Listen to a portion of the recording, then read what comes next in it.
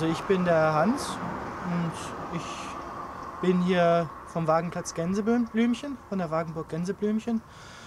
Und wir sind jetzt hier in der Johann Kutschera Gasse, ähm, Ecke Bernhardiner Allee und äh, äh, ja, in Ermangelung also eines äh, Grundstücks, äh, wo wir also in, was wir also in Wien nutzen dürfen, äh, stehen wir also jetzt hier gerade auf einem Parkstreifen und äh, ja, sind natürlich weiterhin auf der Suche nach Grundstücken, ähm, wo, wo, wir, wo wir eben einen Wagenplatz in Wien möglich machen können. Wir sind jetzt die dritte Gruppe in Wien, die sowas macht und äh, ja, äh, hoffen, hoffen da, dass wir auch bald was finden.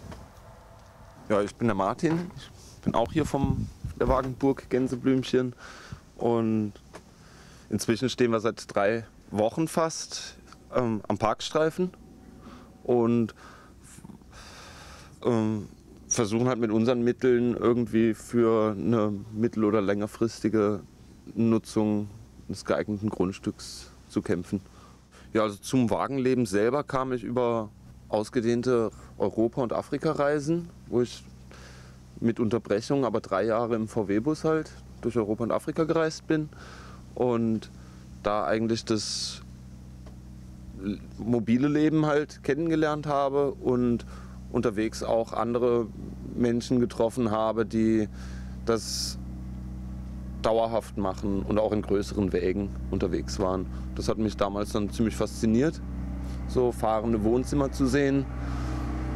Und ähm, zurück in Deutschland habe ich dann auch erste Wagenplätze kennengelernt und die Leute und mh, hm,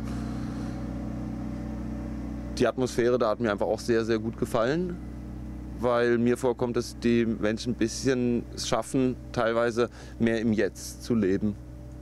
Weil dieses Unterwegssein äh, beinhaltet halt so, dass sich der Ort ständig mit der Zeit ständig wechselt, ändert und man dann, wenn sich irgendwelche Gelegenheiten ergeben, man die auch dann sofort ergreifen muss, weil im nächsten Moment sind sie schon nicht mehr da.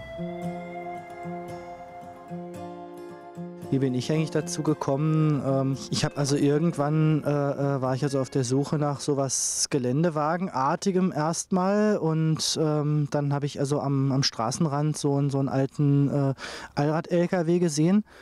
Ähm, der also ein bisschen größer war, aber preislich auch durchaus erschwinglich und ich konnte dann vom, vom Führerschein her fahren. Das äh, bin also eine der letzten Generationen in Deutschland, die einen siebeneinhalb Tonnen Führerschein mit dem Pkw mitgekriegt haben. Und ähm, ja, dann habe ich mir den gekauft, ähm, war dann ein, zwei Mal im Urlaub damit und ähm, war dann also in so einer Situation, wo ich also wegen einem Job äh, mal wieder umziehen musste und wo ich gleichzeitig, wo gleichzeitig irgendwie absehbar war, ich muss was an dem Auto machen. Und ähm, ja, wo dann, wo dann so ganz viele Sachen zusammengekommen sind und ich habe dann halt äh, irgendwie mal meinen, meinen Tagesablauf mal, mal bin ich mal durchgegangen und habe also festgestellt, so ähm, wenn ich acht Stunden am Tag an der Arbeit bin, dann noch mal sechs Stunden was an dem Auto mache, dann ähm, äh, brauche ich effektiv eine Wohnung für eine Matratze und dafür war mir einfach das Geld zu schad.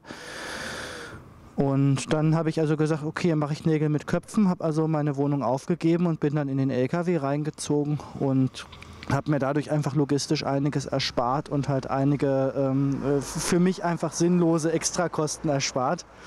So, warum, warum soll man einfach beides haben? So bin ich halt dann zum Wagenleben gekommen. Mittlerweile habe ich also auch einen großen Lkw-Führerschein, wo man also auch mehr als 7,5 Tonnen äh, fahren darf. Und äh, damit ist dann auch der, der größere LKW irgendwann gekommen. Und jetzt habe ich halt hier so den Sommer. Den bringe ich immer mit. Also bei mir ist immer Sommer. Und ja, da kann man es also auch ganz gemütlich drin aushalten. Also das Fahrzeug hier ist auch äh, komplett autark. Das hat also Solarpaneele auf dem Dach, die sich äh, erstaunlicherweise bis Ende November ausgehen. Und ab Februar geht es dann wieder. Und der hat auch 600 Liter Wassertank drin und eine Dusche drin, also und ein kleines, kleines äh, Mobilklo. Also der ist durchaus so, dass man da auch, äh, auch entspannt drinnen drinne leben kann und den irgendwo hinstellen kann. Und es geht einfach so, äh, äh so dass das Leben geht halt einfach so weiter. So, ich ich, ich stelle ihn irgendwo ab, äh, halt, halt da, wo ich wieder arbeiten muss. Und ähm, so einfach dieser ganze Tagesablauf, der sich so eingeschossen hat, der ähm, äh, geht also ohne, ohne Schwierigkeiten einfach weiter. Und das ähm, äh, macht für mich auch so ein bisschen Wagenleben aus. So, es ist eine stark individuelle Sache. So, man, wir, wir, bauen uns also auch unsere Wägen alle, alle selber aus. Wir, wir schaffen also hier unsere eigene Infrastruktur und, und experimentieren da natürlich auch, äh, auch viel. So und äh, gerade diese Art von Kreativität, die äh, schafft da auch äh, schafft da auch eine Menge Wissen über über über einfach so Umweltbedingungen, über Energietechnik, ähm, so ähm, und das, das Wissen ist einfach viel wert, wenn man das also einmal ausprobiert hat, dann dann weiß man, was funktionieren kann und ähm, was halt manchmal weniger gut funktioniert. Ich, ich sage immer äh, so, Leute, probiert was aus, scheut euch nicht davor, mal ähm, mal so Sachen äh, äh, zu machen, äh, also solange sie keinem anderen wehtun, ähm, so ähm, kann man eigentlich alles machen und da ist die Welt also eine riesige große Spielwiese. Nur äh, wer nicht experimentiert, wer nicht das ganze, äh, das ganze Experiment auch wagt, ähm, so, der muss sich immer darauf verlassen, auf das Wissen, was einfach andere schon ausprobiert haben und äh, ob das so richtig ist das, äh, so, das muss man halt immer wieder, wieder bewerten. Ne, es, gibt, es gibt Sachen, ähm, die funktionieren, aber es hat noch nie jemand ausprobiert. Deshalb da behaupten alle, es geht nicht und dann äh, äh, probiert es halt mal einer aus, der das nicht weiß und der sagt dann, es geht ja doch. Ähm, so, so Sachen. Das, das macht einfach so dieses, dieses Experimentelle, dieses Individuelle, das äh, ist, für, ist für mich ein großer Aspekt, der also auch Wagenleben mit sich bringt und ähm, der, den ich also auch, auch extrem, extrem gut finde. Also auch, auch dass man jetzt äh, äh so, wenn man im Wagen lebt, merkt man zum Beispiel, wie, ähm, äh, ähm, äh, äh, wie, wie heftig das eigentlich ist, wenn man mit Elektrik irgendwas beheizt so vom, vom Wirkungsgrad. So, dann haben, haben wir eine Kaffeemaschine auf einmal und so, ja, wie versorgen wir die mit Energie? Früher hatten wir den Elektroanschluss im Haushalt. Gut, stellen wir ein Aggregat daneben. Und dann stellen wir auf einmal fest, so Wirkungsgrad von dem Aggregat, okay, das äh, so viel Energie verpufft da offenbar im Kraftwerk.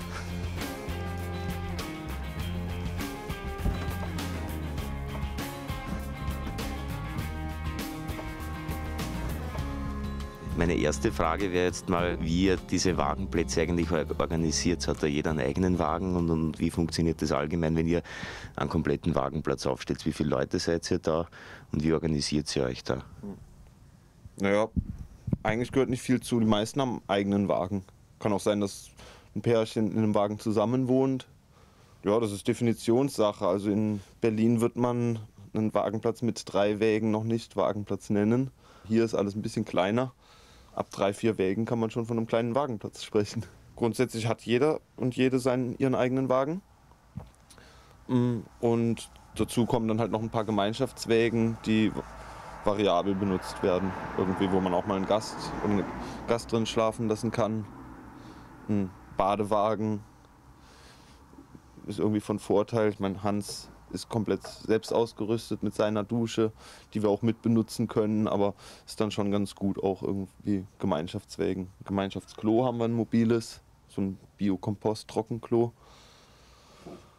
Und ja, oder hier diesen Wagen zum Beispiel, was auch so ein, das war früher war das, mh, hm, haben wir die Wand rausgenommen und einen anderen Wagen auch mit einer rausgenommenen Wand aneinander gebaut, um so einen größeren Gemeinschaftsraum zu schaffen. Und jetzt, seit wir wieder auf der Straße sind, haben wir die halt auseinandergeschnitten, die Wägen. Und das ist die eine Hälfte davon. Und jetzt für den Sommer halt super geeignet, irgendwie als Bühne, als offenes Wohnzimmer. Es lädt dann halt auch ein, direkt irgendwie sich dazu zu setzen oder mal stehen zu bleiben und ein bisschen zu reden mit den Passanten. Ihr verhandelt jetzt gerade mit der Stadt und mit dem Bezirk, glaube ich, oder? Äh, was das Stehen betrifft. Wie, wie, wie läuft denn das gerade jetzt? Naja, ähm, aktuell ähm, sieht es also so aus, dass die Politik schon, schon offensichtlich hinter uns steht. Das ist also der letzte Stand. Und ähm, Ja, wir verhandeln also an verschiedenen Stellen. Ähm, also, also wir verhandeln ähm, aktuell natürlich äh, hier auf diese, diesen, diesen großen Bauabschnitt 2, ähm, äh, dass wir da also äh, äh, ein bisschen stehen bleiben können. Da wäre unser Wunsch, dass wir bis 2015 also ähm, äh, dort, dort eine Möglichkeit krieg geboten kriegen. Wobei, ähm, äh, wobei eben da die Betreibergesellschaft sagt, ähm, äh, sagt so, ja, das geht mal gar nicht bis 2015 und drei Monate geht vielleicht. Das wollen sie aber eigentlich auch schriftlich haben und auch nur hier auf dem Parkstreifen. Wir haben noch zwei, drei andere Anfragen am Laufen auf ähnliche Grundstücke. So, ähm, die also auch ganz, ganz unterschiedlich laufen. Also die einen sagen dann so, sie vermieten grundsätzlich nicht und ähm, äh, so und, und ähm, äh, selbst, selbst wenn man denen dann Geld anbietet, vermieten sie nicht aus irgendeinem unerfindlichen Grund. So, obwohl man genau weiß, dass die Grundstücke noch 10, 20 Jahre leer stehen. Und bei anderen sagen sie, andere sagen dann ja, sie haben das Grundstück verkauft, aber sie, sie kümmern sich, sie hätten da noch was und äh, das, das zieht sich auf jeden Fall alles noch, äh, noch zwei, drei Monate, äh, bis wir da irgendwas Konkretes haben. Was mir am Wagenplatz auch noch ganz gut gefällt, ist so dieser fließende Übergang von drinnen und draußen, dass ich dann im Wagen irgendwas am Tun bin und mit zwei Schritten direkt irgendwie rausgehe, irgendwas draußen hole oder was nach draußen bringe. Und sich das Leben halt viel draußen, viel vorm Wagen, also wirklich draußen stattfindet unter freiem Himmel. Und das auch wechselt mehrmals am Tag irgendwie, weil das Wetter gar nicht, weil das Wetter heute ist gar nicht nur schlecht oder nur schön, sondern da kommt mal ein Regenschauer dazwischen, an dem ich mich vielleicht wieder unterstelle oder in den Wagen verkrieche. Aber das reißt dann fünf Minuten später wieder auf und dann merke ich, dass es wieder schön ist. Also kann ich draußen weitermachen.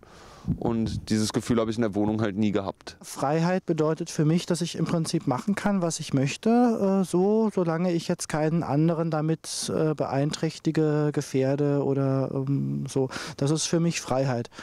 Und ähm, die, die gilt es also immer, immer auch zu bewahren. Wir leben hier relativ frei, aber eben äh, es gibt immer so, so kleine äh, Stellen, wo man dann wieder darauf aufmerksam machen muss, äh, äh dass, äh, äh, dass es hier vielleicht besser gehen könnte. Und ähm, ja, dann müssen wir halt darauf aufmerksam machen und hoffen, dass wir noch freier leben können. Das ist das Ziel.